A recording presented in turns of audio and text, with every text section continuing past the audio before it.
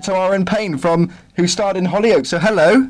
Hello, how are you doing? I'm good, thanks. How are you? I'm all right. Yeah, I'm really good. I'm back home at the moment, kind kind of near you guys. I'm in Bournemouth, so That is very close to Cornwall.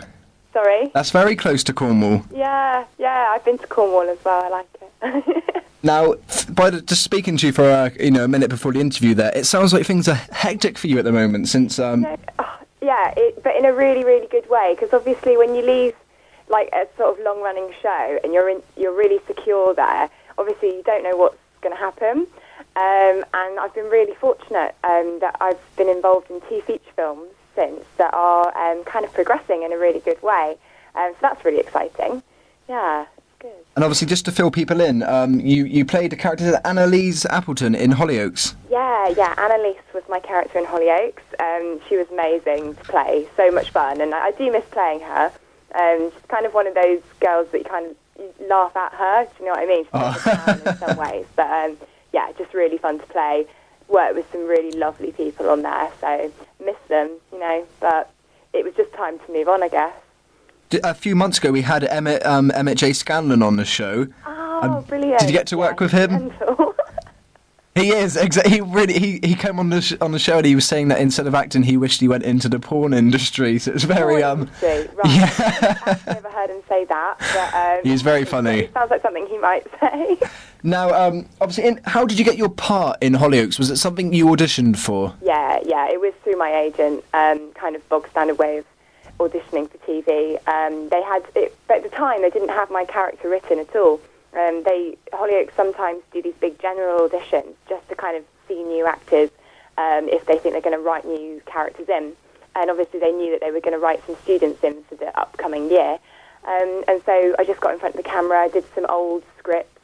Um, I think I read some stuff of Stephanie Dulladine, who's like a really famous character from Hollyoaks, so that was funny. And then um, from there, I guess they started writing the student characters that became our characters, and um, it was grueling in the end. I think I, I did four auditions for it.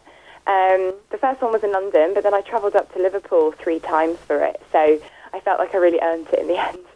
Now, was was this your first kind of television, you know, program that you were on? Was this the first break yeah, you yeah, had? My first sort of big gig because I went to drama school in London and um, I had a year of sort of not scraping for jobs, but you know, auditioning a lot and getting little bits and bobs, but not really getting a sort of big break, as it were. And this was sort of my big opportunity, and it changed. It absolutely changed my life. It was um, amazing.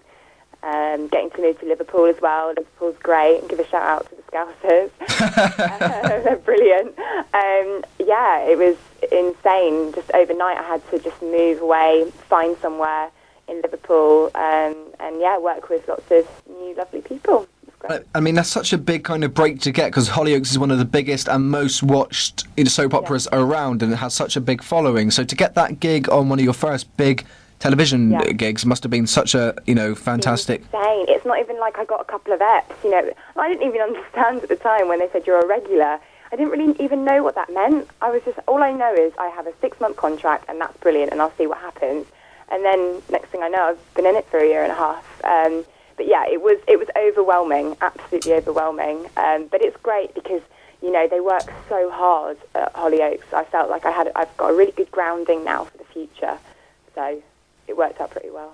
Now, when you you know left the show Hollyoaks, was that something that was your decision, or was it the the, the show's decision? It was my decision actually, and it wasn't an easy one. This is the thing. A lot of people say to me, "Oh, why did you go?"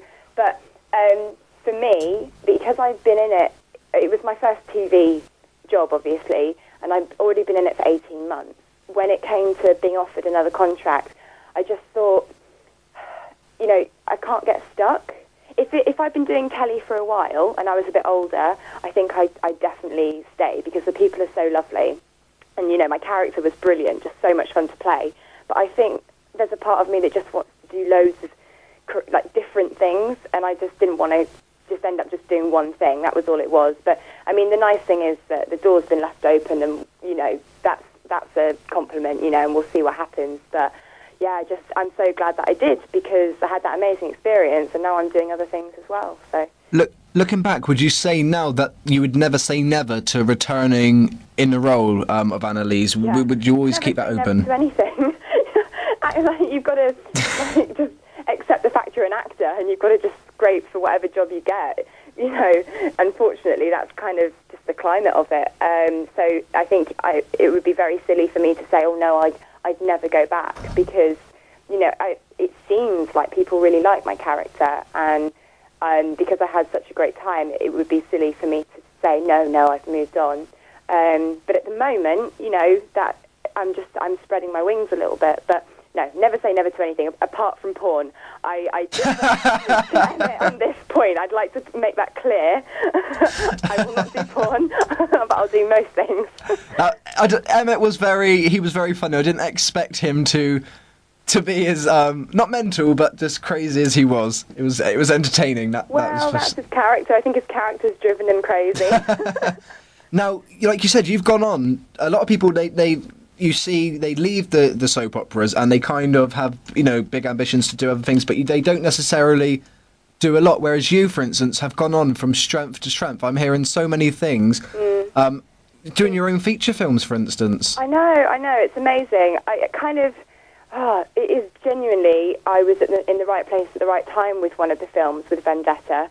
Um, I, so, because I've done two, um, the other one is just through a friend. So I'm very lucky with that as well. It's it's been pure luck with these films. Um, but yeah, I've basically just had a chat with Jonathan Sothcott um, about Vendetta, and he just thought I was right for the part. It, it sometimes it literally is just being in the right place at the right time, which is uh, great. Now, I might be completely wrong here. Um, are you working with Danny Dyer? yeah, yeah. Ben, basically, the two films, um, one's called Stalled and one's called Vendetta, uh, and they're both completed now. And Vendetta is uh, starring Danny Dyer and Roxanne McKee, who used to be on Hollyoaks, and she's lovely as well. Um, and then there's a couple of other people. Uh, Josef Altin, who is on Game of Thrones at the moment, as well as Roxanne. Just, um, yeah, amazing cast. And yeah, work with Danny, who is lovely. That is crazy. So you, you're doing some amazing projects right now. Yeah, I mean, I, I can't believe my luck, really. I'm, I'm just really grateful because, like I say, with actors, you don't know which way it's going to go, especially after a soap opera. Um, but yeah, it, it has been brilliant to work, especially just to work with some very talented people as well. Because um, that I, did you, I don't know if you saw on E4 there was a drama called Utopia. Yes. Um, and that was that was a really good drama. And I worked with an actor called Alistair Petrie who played one of the um, people in that, and he's amazing.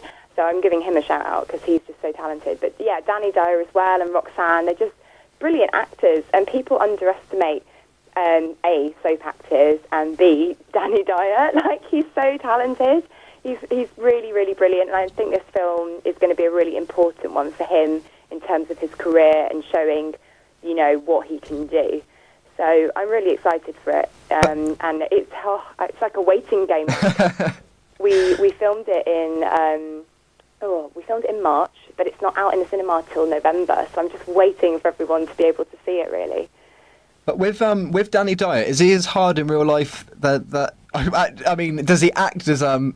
I better reword that actually. No, no, no, I'm just laughing because it's, oh, it's just funny. Like the thing is, because of his accent, people just and obviously he does all these hard man films and stuff. Exactly. he does them very well. Um, but like the way I would describe Danny is like he's like the lion from the Wizard of Oz. I never expected that one to come. Genuinely, it's just come to me. Like he's not fierce. He's like this big, cuddly, lovely guy with a lot of facial hair at the moment. Um, and he just, whenever I see him on set, he just gives me a massive hug, and he Oh. just makes you feel like, because obviously when you first meet him, you're like, oh, Danny Dyer, you know, I've seen you in the business and all these big films and stuff. And then he just gave me a massive hug. He was like, oh, you're right, Tam, and just have a little chat before he goes on set and stuff. And yeah, he's just so sweet. you will hate me saying that. I have to play it back to him. So sweet, but he is really sweet. Um, Um, and I think people have got the wrong idea about him. I think he gets a really bad like rap, and he doesn't deserve it at all. Like from meeting him in person and from working with him, he's just the complete opposite. Um, yeah, it's a sweet. Oh. but prior to obviously getting your big break on Hollyoaks, did you get knockbacks from auditions? Did you audition and not get the part? God, yeah. Now, how- obviously- don't want to make out like I didn't get any jobs. I did. But, but yeah, of course. I mean, you know, for every job you get, you get 10 knockbacks, and that's just, you could be the most talented actor in the world, but I doubt, you know, even those guys, you know, don't get the odd refusal. Um, you just have to get used to it. It is hard. It's not an easy thing, especially when you, you know, for big roles where you prepare and, you know, you do so much research and everything to then, you know, and especially if you get far, you get recalled and then you get closer and closer to thinking, yes, I'm going to get this and I'm right for it. And you're always convinced that you're right for it. You know, oh, I can, I can play that role, you know, but um, Get into it. it, you know, you just get used to it after a while and you kind of toughen up.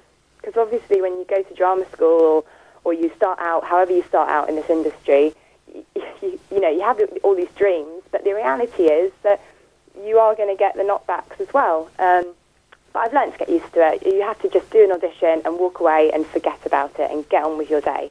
And then, you know, if you get good news, it's a bonus.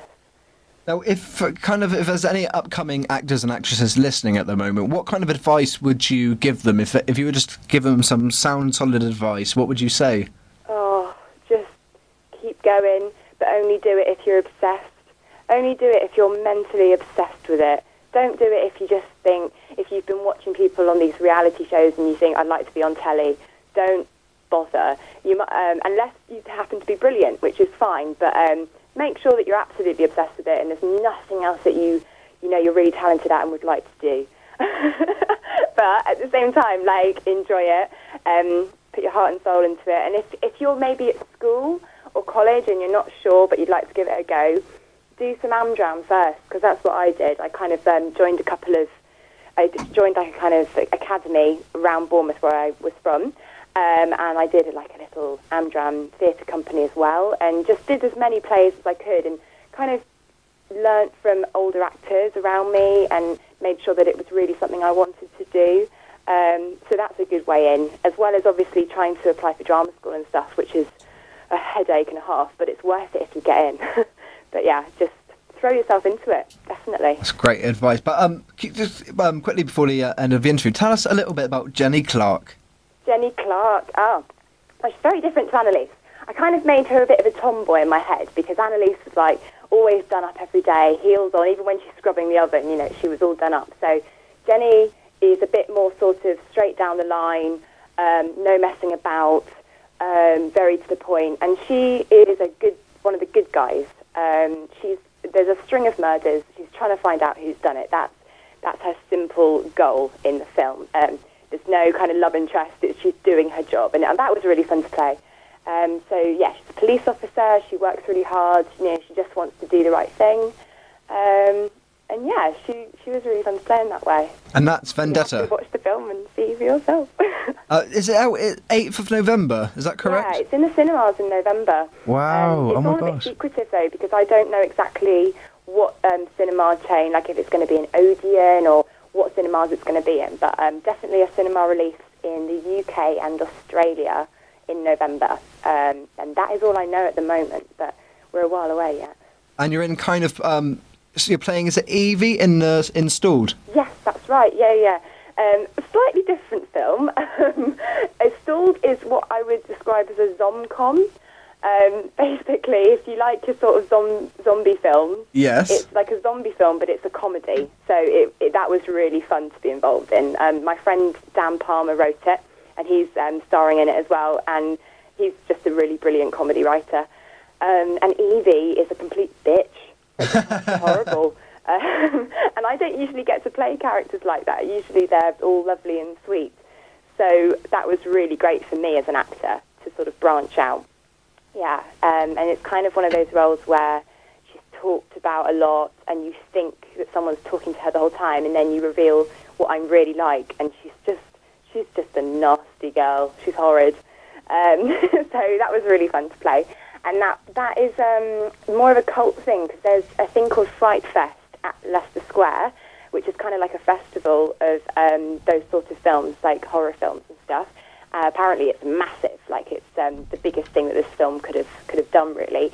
Um, and tickets are still on sale for that, so you can go down and catch catch me in Stalled. Um, and yeah, that's on in August, I think, for the whole month. I think. Oh, It's so exciting hearing what you're up to, and I really hope we stay in contact and you come on the show loads more times to oh. promote your upcoming projects. You've been an amazing guest. Oh, thank you very much. It's been lovely. I like listening to your accent. Oh, do I have an accent? oh, what accent do I have? Do you not have like a Cornish accent a little bit?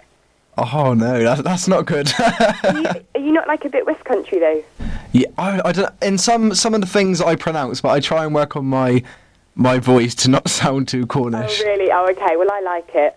Oh, thank you. of I like your as well. accent. I like listening to people's voices. You sound like a very nice British British girl with that kind of accent. I accent. speak very well, yes. I've just sent you a tweet saying you're an amazing guest as well on Twitter. oh, bless you. Okay, I might follow you back. Thank you Thank very you, much. it's Good luck. lovely. Good luck with the projects. Um, come on the come on the show again before the before the film's out in the cinemas, and we'll get that promoted as well. Brilliant. Okay, we'll do. Thank you very much. Take care. You too. Bye-bye. Bye.